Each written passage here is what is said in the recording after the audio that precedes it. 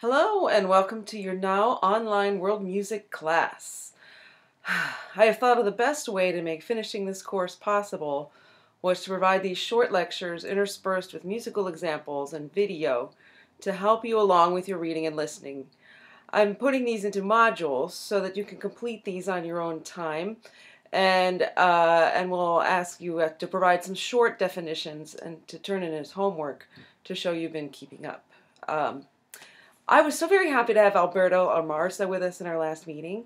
Alberto has also traveled the world, mostly by motorcycle, and he knows a great deal about the many cultures he has personally encountered. Uh, I'd like to re-emphasize a couple of key things he discussed, mostly regarding classical music versus funk. Western music is decidedly young compared to the other traditions we will study. Indian music in particular. Uh, one figure from this time in Western music who figured prominently was Johann Sebastian Bach, who was an organist and a composer in the 17th century.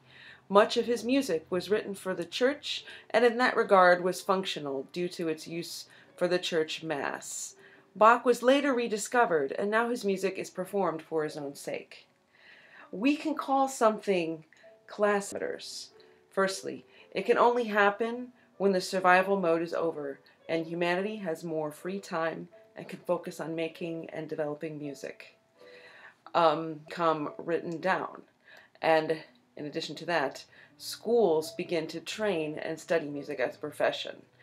Um, as I've mentioned, many other cultures have classical music, and as we discussed in class, um, India, Indonesia, Japan, Iraq, Pakistan, China, and just to name a few. And these have existed for many centuries. Indian music itself for 3,000 years. Around us, our text says mainly it was used in ceremonies and rituals, but it also includes background music, such as elevator music, sound nationalist music such as national anthems and such. Okay. I'd like to talk to you now and to sort of get you. Uh, I have included in the module a nicely updated map that you can see a little more clearly than what's in the book. Um, India is a nation. It borders Bangladesh, Bhutan, Myanmar, China, Nepal, and Pakistan, and it shares its land Sri Lanka, Indonesia, and the Maldives. India is the second most populated country on the planet. It's a lot of people. 1.36 billion people, almost one fifth of the world's population, live on the Indian, quite diverse, with 2,000 ethnic groups, four major language families, and more than 120 languages. Of the Indians speak Hindi, besides English, and both are the official languages in southern India, as the languages in northern India belong to a different subgroup than those of the southern. This origin of this goes back millennia around 1500 BC, when an advanced civilization that lived in northwestern India was pushed south by a wave of invaders. That can be how the differences arose, with the invaders speaking one language and the indigenous inhabitants geographical features. Um, the Himalayas in the north, highest peaks on Earth, was initiated approximately 50 to 60 million years ago when India's landmass collided with the enormous Eurasian plate. This impact created this immense mountain system we call the Himalayas. The Ganges um, is the long river that goes through India it's the long holy river of the Hindu people. The Sundarbans is the world's largest coastal mangrove forest and is shared between India, and Bangladesh.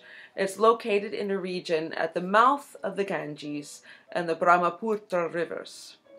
Um, it is one of the most biologically productive and natural ecosystems on the planet, and is considered to be one of the natural wonders of the world. The Thar Desert, located in the northwestern part of the Indian subcontinent, just north of, um, very up close near Pakistan. Um, this desert, Sahara and the Arabian Desert, and it covers an area about the size. It's quite huge. Um, the Andaman Islands is a long stretched archipelago which expands over 1,000 kilometers north and sea south of Myanmar. Uh, we have lush tropical forests, and they cover about 90% of this beautiful island's landscapes, and they have a, a rich biodiversity there. Um, three major religions exist in, in India Hinduism, which dates back to about 1500 BC when the northwest portion was invaded. Islam, Buddhism, and Jainism originated in India around 5 BC. Sikhism was founded much later, in the 16th century, and there exists to this day uh, much political unrest, and this stems from tensions among these different religious groups, especially Hindus, Muslims, and Sikhs. Some of the many differences um, which may spur these kinds of interactions. Uh, the Hinduism has many gods. They promote vegetari- vegetarianism and they venerate the cow. Whereas Islam has one god. They allow the eating and killing of many animals, including cows. Um, Hindus and Muslims have formed bonds which leads us to Sufism. It's a mystic form of Islam, and they share with Hinduism that music may serve as a path to communion with the divine Shafqat Ali Khan. And this, uh, the Shafqat Ali Khan is a musician, and this will be our playlist number two. If I can get that to work for us. Hold on, let me pause.